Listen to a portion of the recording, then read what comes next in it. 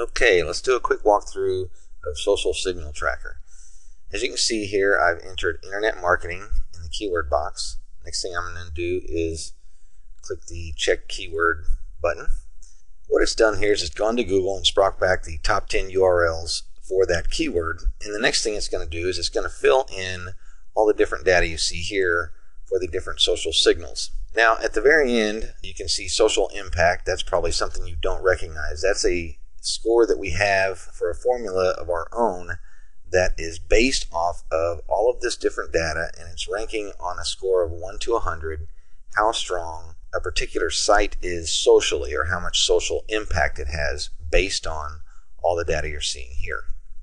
Okay, so now above that, you can see we have a social difficulty score, and that's on a 1 to 5 basis, 5 being the hardest, and that's just overall general social difficulty. And then we have social impact average for the different ranking positions on the first page. So ranks 8 through 10, ranks 4 through 7, and ranks 1 through 3. This is the average score for those positions.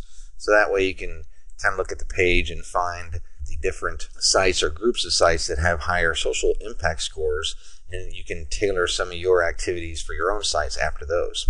Okay, so down here we have a box to enter your own URL. I'm going to put the Warrior Forum.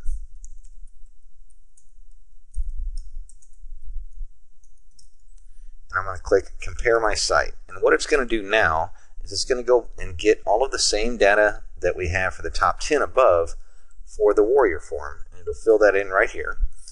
Now we have a couple other options over here, save and exit and we have a button that just pops up when that fills in. It says your report is ready. Click here. So I'm going to click here to see the report.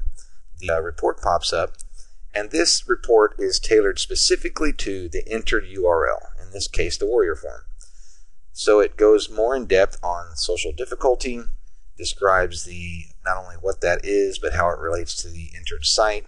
Same thing for social impact, and also go into top 10 comparisons. I'll scroll down here a little bit. This over here where it says your site, that's the entered site, and then the rank 1 through 3 average and top 10 average, and all of the data for those positions so you can do a cross comparison of your site to the top 10.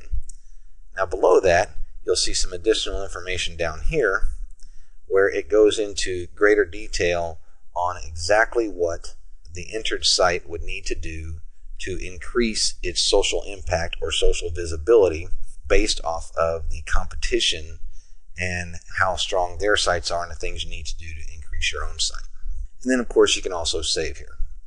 Okay, so I'm going to go ahead and close this out.